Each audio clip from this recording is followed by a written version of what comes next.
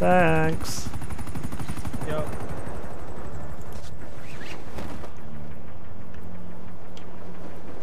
I think you'll still have to drop as a VIP in order to access the computer in there, though.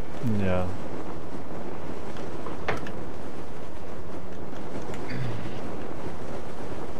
Well, Okay. ow, ow. Okay.